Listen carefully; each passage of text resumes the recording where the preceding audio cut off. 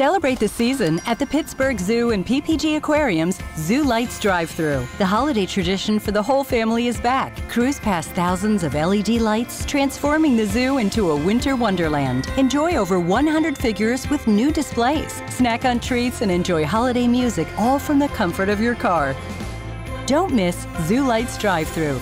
November 25th through December 30th. Tickets on sale now at pittsburghzoo.org.